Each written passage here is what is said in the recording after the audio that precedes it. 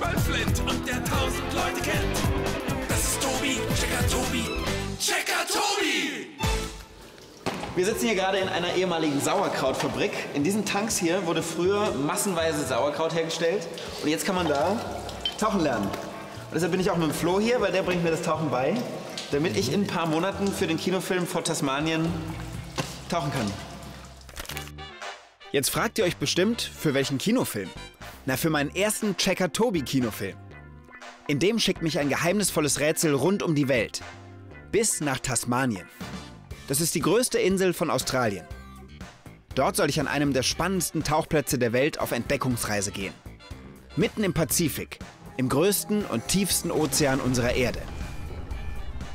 Guckt mal, wie toll das da aussieht. Und was für abgefahrene Tiere da rumschwimmen. Ich darf aber nur im Pazifik tauchen, wenn ich einen Tauchschein in der Tasche habe. Denn ein Tauchgang im offenen Meer ist echt nicht ohne. Deshalb muss ich jetzt erstmal trainieren. Und dann noch eine Prüfung bestehen. Und alles checken, was ich als Taucher wissen muss. Zum Beispiel, welche Ausrüstung brauche ich? Verrückt. Wie kann ich mich unter Wasser verständigen? Oder was passiert beim Tauchen mit meinem Körper? Also, drückt mir die Daumen, denn ich will damit nach Tasmanien. Hier kommt der Tauchcheck. Und jetzt die Checkerfragen.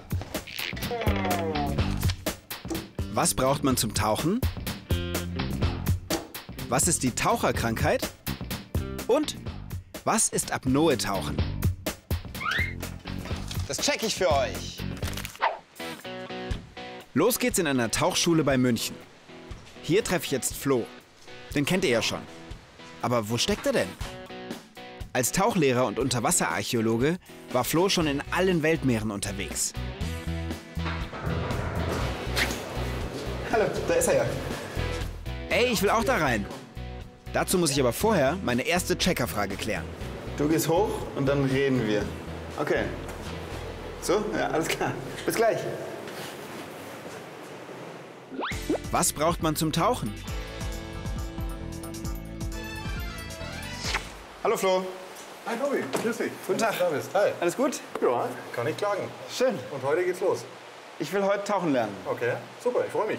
Ich habe auch schon mal was vorbereitet. Einmal deinen Tauchanzug Okay. ähm, und einmal deine Flossen. Den Rest gebe ich dir später. Das kannst du erstmal da hinten umziehen. Da Okay. sind die Umkleiden. Perfekt. Und dann sehen wir uns gleich wieder. Mach ich. Ja? Bis gleich. Ja, bis gleich. So, also Anzug habe ich angezogen. Können wir tauchen gehen, oder? Ich zeige dir erstmal die Funktion der Geräte. Und wenn du das dann erstmal so verinnerlicht hast, dann springen wir ins Wasser und dann gehen wir das Ganze praktisch an. Okay, alles klar. Dann, was haben wir denn hier? Das ist jetzt sozusagen das Kernstück des Tauchers. Seine Flasche. 2400 Liter Luft sind jetzt komprimiert in dieser Flasche drin. Zusammengepresst. Genau, genau. Luft, wie wir sie hier zum Atmen auch haben. Ganz genau, ganz normale Luft. Und darum heißt es auch Pressluft, weil wir Ja. die Luft jetzt in diese Flasche reinpressen. Also, zum Tauchen brauchen wir, genau wie an Land, Luft zum Atmen. Die Luft ist dafür in so einer Flasche zusammengepresst. Der Vorteil, so passt viel mehr Luft rein.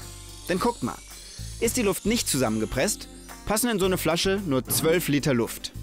Das reicht gerade mal für ein paar Atemzüge. Ist die Luft zusammengepresst, haben 2400 Liter Platz. Damit kann ein Taucher in 10 Metern Tiefe ungefähr eine halbe Stunde lang atmen. Das nächste, was ich dir zeigen möchte, ist der Atemregler. Da kommt also dann letztendlich deine Luft raus. Ja. Einfach so in den Mund nehmen. Genau, da drauf reißen und die Lippen oben drüber. Genau. Du merkst du selber, wie es sich gut anfühlt. Genau. Und jetzt kannst du auch schon mal Luft ziehen. Siehst du? Verrückt. Jetzt kommt also ganz genauso viel Luft raus, wie du auch brauchst. Du brauchst also keine Angst haben, dass da ganz wenig rauskommt, sondern es ist immer genügend da. Was du noch brauchst, ist ein sogenannter Bleigürtel. Ein Bleigürtel. Ganz genau, denn das, was du anhast und auch dieses aufgeschäumte Neopren, das treibt dich ja erstmal nach oben. Das heißt, damit wirst du nicht untergehen. Aha. Selbst mit der Flasche auf wirst du wahrscheinlich nicht untergehen. Du Nein. musst aber erstmal runterkommen. Das heißt, Ja. der Bleigürtel hilft uns erstmal runterzukommen. Ja. Klar, denn das Blei ist echt schwer. Einen Taucher kann man gut mit einer Plastikflasche vergleichen, die mit Luft gefüllt ist. Die Flasche bildet einen Hohlraum. Hier, das ist der Hohlraum. Bei einem Taucher entsteht der Hohlraum, weil zum Beispiel in seiner Lunge Luft ist. Wenn wir die Flasche oder den Taucher unter Wasser drücken, schiebt ihr Hohlraum alle Wasserteilchen zur Seite, die da vorher waren. Die mögen das gar nicht und drücken zurück. Dieses Zurückdrücken nennen die Wissenschaftler Auftriebskraft. Sie sorgt dafür, dass die Flasche oder der Taucher wieder nach oben treiben. Damit das nicht passiert, tragen Taucher einen Bleigürtel. Das Gewicht von dem Blei gleicht die Auftriebskraft aus. Super wichtig ist auch die Tarierweste. Pumpt der Taucher sie auf, steigt er nach oben. Lässt er die Luft wieder raus, sinkt er nach unten. Steuern kann er das über den sogenannten Inflator, so eine Art Luftregler. Und das kommt aber auch aus der Flasche. Genau, das kommt auch über, dieses, über diesen Filterschlauch geht Ja. hier rein. Ja. Und wenn du die Luft rauslassen willst, dann drückst du den oberen Dann kommt es da wieder und raus. dann lässt es hier wieder raus. Also je mehr Luft hinten drin ist, desto mehr zieht mich diese Luft eben nach Genau, oben. Luft will immer da oben. Genau, und je mehr ich wieder rauslasse, Genau. desto mehr sacke ich nach unten. Ganz genau, so ist es. Und das ist am Anfang ein bisschen schwierig. Und was ganz entscheidend dazu kommt, ist, du atmest nur einmal fest ein. Packst du 5, 6, 7 Liter in deine Lunge und du steigst automatisch auf. Das heißt, du kannst dieses Feintuning kannst du allein schon über deine Lungenatmung machen. Oh, krass. Tief einatmen und du steigst schon. Jetzt wenn du tief einatmest und dann noch den Inflator drin, ne, dann bam, dann gehst du nach oben so. Ne? Ja. Und dieses Feinspiel zwischen eigener Lungenatmung und hier genügend rein und rauslassen, Ja. das ist die hohe Kunst des Tauchens eigentlich. Der Das ist Rest- aber Übungs- und Erfahrungssache. genau.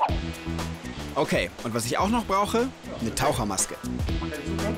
Und was ist mit dem alten Trick, dass man ähm, in die Taucherbrille reinspuckt, damit sie nicht beschlägt? Genau, der stimmt und der wirkt tatsächlich. Das heißt, man spuckt so ein bisschen rein, verreibt das Ganze und die Spucke sorgt eben dafür, dass die Brille nicht anläuft. Ähm, vorher natürlich noch mal ein bisschen ausspülen Ja. und dann haben wir klare Sicht. Okay. Also, ein Taucher braucht eine Tauchflasche mit Atemregler, einen Tauchanzug, der vor Kälte schützt, Flossen, damit er vorwärts kommt und einen Bleigürtel. Super wichtig ist die Tarierweste. Mit der kann der Taucher sinken, steigen oder in einer gewünschten Tiefe schweben. Zum Tauchen braucht man einen Anzug, Flossen, eine Tauchflasche mit Atemregler und eine Tarierweste. Gecheckt. Okay, die Ausrüstung kenne ich jetzt. Nächster Schritt zum Tauchschein. Ich muss ins Becken. Oh oh. Ja, krass. Und hier ähm, springen wir jetzt rein und tauchen. Hier springen wir rein, aber nicht so schnell. Wir machen vorher natürlich noch mal einen Check. Das macht man also immer beim Tauchen. Wir springen nicht einfach kopflos rein und legen los, sondern wir ziehen unsere Ausrüstung an und an der Oberfläche wird die Ausrüstung noch mal gecheckt. Wir schauen also noch mal, haben wir genug Luft dabei, funktionieren unsere Atemregler, ähm, fühlen wir uns soweit wohl. Wir sprechen noch mal, was wir gleich machen wollen und erst wenn das alles stimmt, dann versuchst du schon mal so ein bisschen abzutauchen, zu schauen, ob du dich wohlfühlst und dann tauchen wir runter. Okay.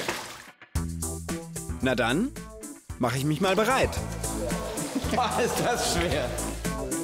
Ganz wichtig beim Tauchen, Sicherheit. Deshalb kontrollieren wir gegenseitig nochmal unsere Ausrüstung. Das macht man vor jedem Tauchgang. Und es gibt noch eine wichtige Regel. Tauche nie allein. So kann dir im Notfall immer jemand unter Wasser Hilfe leisten. Dann Atemregler im Mund. Bisschen Luft rauslassen und dann kannst du einfach schon mal ganz leicht abtauchen und einfach schon mal ein paar Atemzüge unter Wasser machen, damit du siehst, wie das, wie das funktioniert. Ne? Hallo.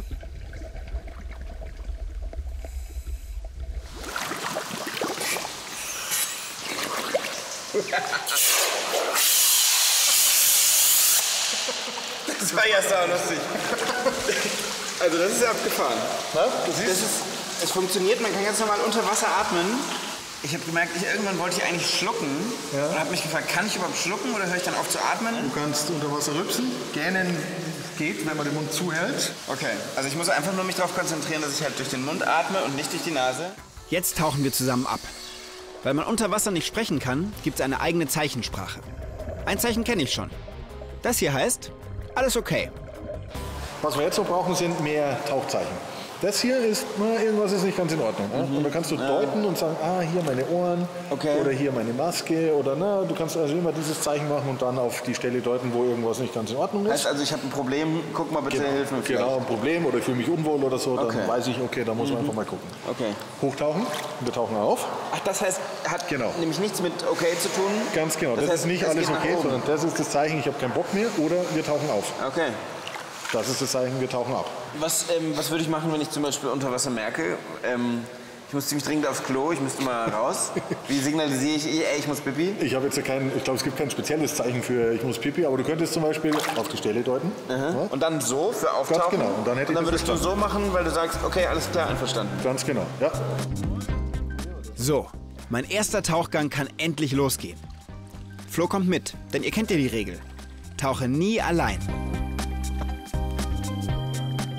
Wie aufregend. Guckt mal, damit ich schneller nach unten komme, lasse ich Luft aus meiner Tarierweste. Na, klappt so mittelgut. Flo hat ja vorhin gesagt, kleine Bewegungen kann ich schon mit meiner Atmung steuern. Das geht wirklich. Yeah, voll gut. Oh nee, hups, so geht's. Sorry. Als nächstes soll ich möglichst lange das Gleichgewicht halten, also im Wasser schweben. Gar nicht so leicht, wie es aussieht.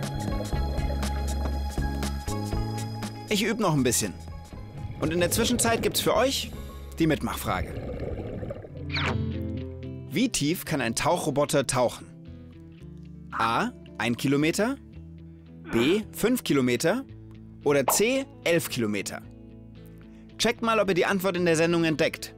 Die Lösung gibt's zum Schluss.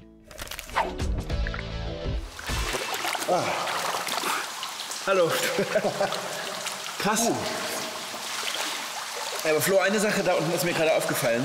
Nämlich je tiefer wir kamen, desto mehr habe ich einen echten Druck auf meinen Ohren gespürt. Das äh, Trommelfell ist ein ganz empfindliches Teil deines Ohres. Ja, das ist ein ganz dünnes Häutchen. Mhm. Ja. Und wenn das Wasser auf dich drückt, dann wird das Trommelfell nach innen in deinen Kopf reingedrückt. Okay. Ja. Und ähm, das merkst du eben. Und darum musst du den Druckausgleich machen. Und den äh, machst du so, indem du einfach durch deine Nase atmen willst, Ja. sie aber zuhältst. Und dann geht die Luft eben äh, durch dein, äh, deine Nasennebenhöhlen auch an dein Trommelfell hin und stülpt es wieder so leicht nach außen. Das heißt, so stellst du den Druckausgleich her. Mhm. Das ist eben kein Druck mehr auf diesem Trommelfell und es tut nicht mehr weh. Macht mal mit. Nase zuhalten. Und bei drei. Eins, zwei, drei. Hat's geklappt? Nicht schlecht, ne? Was Druck unter Wasser mit unserem Körper noch macht, zeigt mir Flo jetzt mit einer Plastikflasche. Guckt mal, was unter Wasser mit der passiert.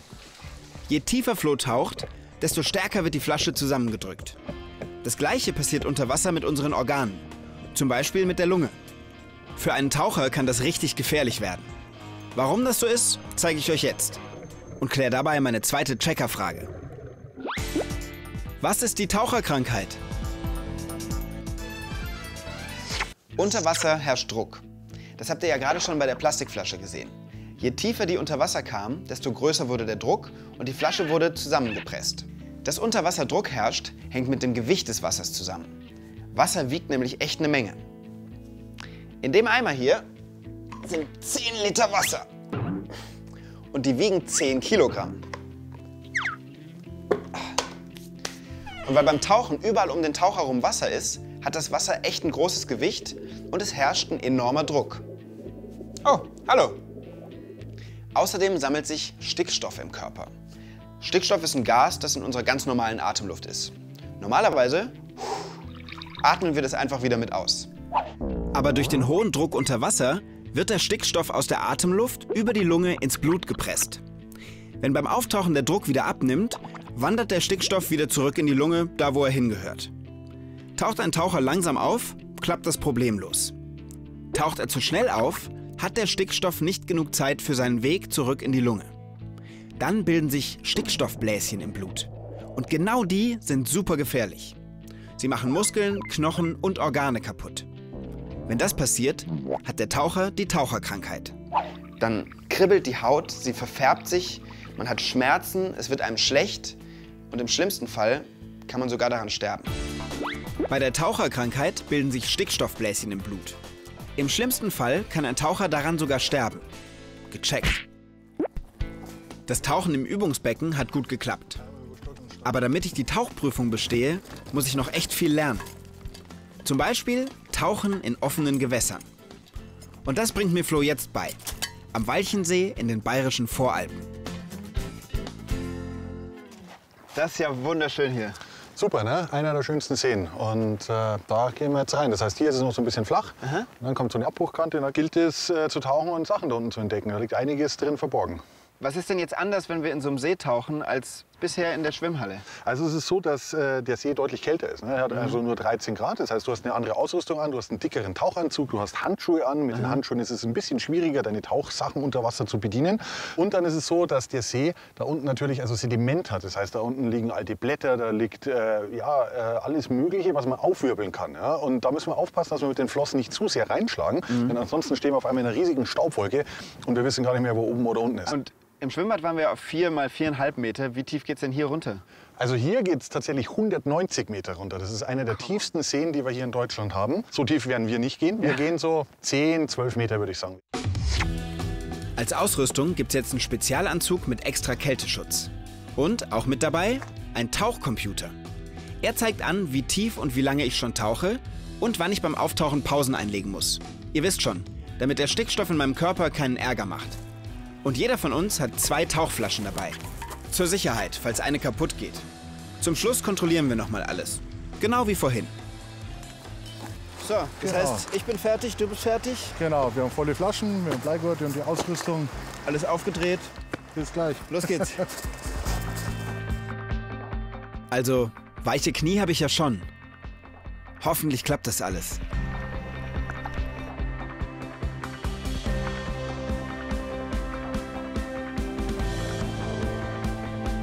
Leute, ein bisschen so stelle ich mir auch das Tauchen im offenen Meer vor. Es gibt keinen Beckenrand, an dem ich mich im Notfall festhalten kann. Und ich habe keine Ahnung, was mich unter Wasser erwartet. Aber es ist ein tolles Gefühl. Wie schwerelos. Ha, ein Fahrrad. Hups.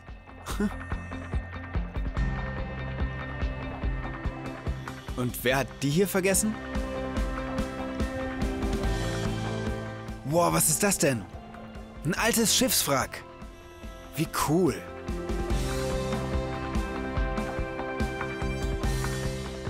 Ich muss langsam wieder auftauchen. Ich mache mich auf den Weg nach oben und für euch gibt's die letzte Checkerfrage. Was ist Apnoe-Tauchen? Wusstet ihr, dass es Taucher gibt, die fast ohne Ausrüstung tauchen? Die halten einfach so lang wie es geht die Luft an. Man nennt das Apnoe-Tauchen. Apnoe kommt aus dem Griechischen und heißt nicht atmen. Ich probiere jetzt auch mal, so lang wie es geht, die Luft anzuhalten.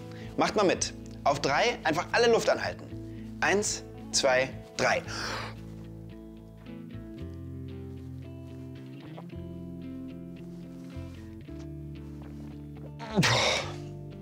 Oh Gott, länger schaffe ich es nicht. Und das war jetzt echt nicht besonders lang, das war ja nicht mal eine Minute. Der Rekord liegt bei knapp 11 Minuten. Dafür brauchen Apnoe-Taucher eine ganz spezielle Atemtechnik. In einem Experiment hat mir Taucher Olli das mal gezeigt. Durch jahrelanges Training kann er viel mehr Luft einatmen als zum Beispiel ich. Außerdem bleibt er unter Wasser ganz ruhig. So muss sein Herz nicht so viel arbeiten und er verbraucht nicht so viel Sauerstoff. Und kann damit viel länger unter Wasser bleiben. Ein Apnoe-Taucher kommt ohne Atemgerät aus. Mit nur einem Atemzug kann er bis zu elf Minuten unter Wasser bleiben. Gecheckt. Es gibt aber auch Leute, die tauchen nicht nur zum Spaß. Man kann auch Berufstaucher werden. Guckt mal hier. Manche Taucher zum Beispiel arbeiten unter Wasser als Handwerker. Im THW-Check habe ich das mal selbst getestet. Mit einem Spezialanzug habe ich unter Wasser Rohre verschraubt. Wie man sie zum Beispiel für eine Unterwasserleitung braucht. Und wisst ihr was? Die Arbeit war sau schwer. Und wieder andere helfen, Dinge aus dem Wasser zu bergen, die da eigentlich nicht hingehören. Taucher ziehen aber nicht nur Autos aus dem Wasser. Die Rettungstaucher von Feuerwehr oder Wasserwacht kommen zum Einsatz, wenn zum Beispiel jemand in einem zugefrorenen See unter die Eisschicht geraten ist. Bei der Rettungsübung hier muss der Taucher zum Glück nur eine Puppe retten. Und es gibt Wissenschaftler, die ferngesteuerte Tauchroboter in die Tiefe schicken. Die Forscher können so gefahrlos an der Oberfläche bleiben und live beobachten, wie die Greifarme der Roboter Gestein und Wasserproben entnehmen. Manche von ihnen können sogar bis zu 11 Kilometer tief abtauchen. Zur tiefsten Stelle der Weltmeere. Wahnsinn, oder? Nach dem Tauchgang muss ich noch die Theorieprüfung bestehen. Denn ohne die kein Tauchschein. Jetzt wird's ernst. So, Tobi, jetzt ähm, ist es so, tauchen kannst du ja soweit. Also die Praxis lief ja schon ganz gut. Aber um einen Tauchschein zu bekommen, einen Mhm. internationalen Tauchschein, musst du auch eine Prüfung machen. Eine schriftliche Prüfung, einen Schriftlich, ja. Theorietest. Und den habe ich hier dabei. Dann schauen wir mal, ob du in der Theorie genauso gut bist wie in der Praxis. Ich habe wirklich ewig äh, keine Prüfung mehr geschrieben. Ja, dann Jahre. musst du da jetzt leider durch. Hoffentlich schaffe ich das. Ich fange mal an. In der Prüfung wird nochmal alles abgefragt, was beim Sporttauchen wichtig ist. Es gibt zum Beispiel Fragen zur Tauchausrüstung oder zu den Sicherheitsregeln. Und ich muss natürlich wissen, was in meinem Körper unter Wasser passiert, damit mir beim Tauchen nichts passiert. Hoffentlich kann ich mich noch an alles erinnern. So, und Jetzt gerade fertig. wie schaut's aus? Letzte Frage. Ja? Ja, alles klar.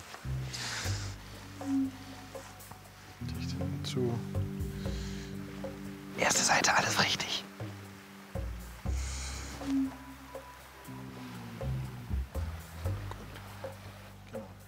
Und wie war ich? Ja, wunderbar, super. Und damit hast du deinen Kurs tatsächlich bestanden. Yay! Na dann ab nach Tasmanien. Aber vorher gibt's noch die Antwort auf die Mitmachfrage. Ich wollte von euch wissen, wie tief kann ein Tauchroboter tauchen? A. 1 Kilometer, B. 5 Kilometer oder C. 11 Kilometer? Na? Habt ihr die Antwort entdeckt? Guckt mal. Manche Tauchroboter können bis zu 11 Kilometer tief abtauchen. Zur tiefsten Stelle der Weltmeere. Richtig ist also Antwort C. Jetzt aber nix wie los nach Tasmanien. Die Insel liegt 26 Flugstunden von Deutschland entfernt. Quasi am anderen Ende der Welt. Vielen Dank.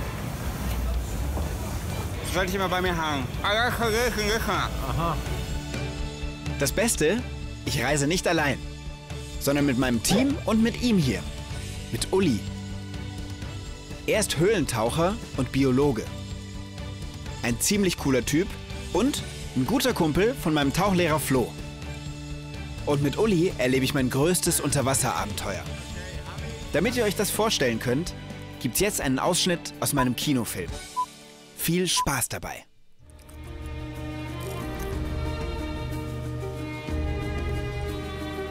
Mit einem Boot fahren wir zu einem der spannendsten Tauchplätze der Welt. Und schon der Weg dahin ist der Wahnsinn. Da war ein Delfin. Was, wo? Ah, Wahnsinn! Hast du es gesehen? Aber nicht. Da, da, da, da. Oh, richtig viele. Wir sind umzingelt von Delfinen. Unbeschreiblich. Aber dann wird's ernst. Hoffentlich weiß ich noch alles von der Tauchprüfung. Ich bin so gespannt, was da unten alles auf mich wartet.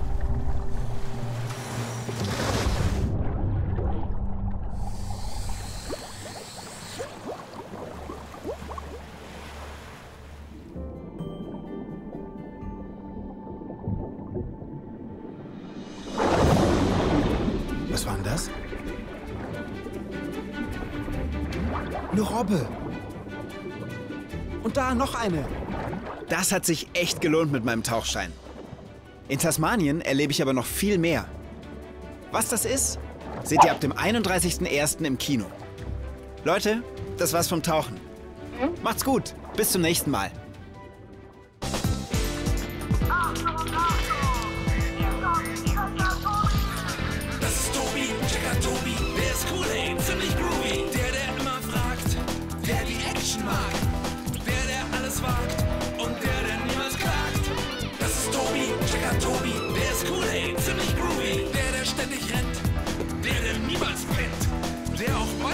gewinnt und der tausend Leute kennt.